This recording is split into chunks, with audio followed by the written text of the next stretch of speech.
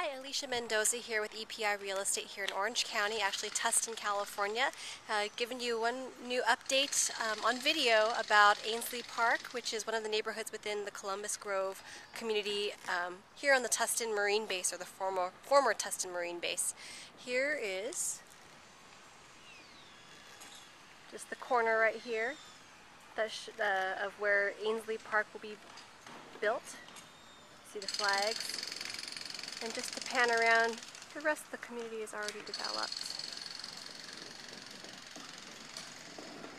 Grove House is just right over here.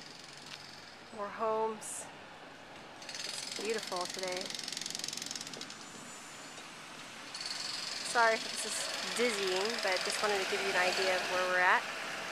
You see construction is taking place. And you can hear construction workers.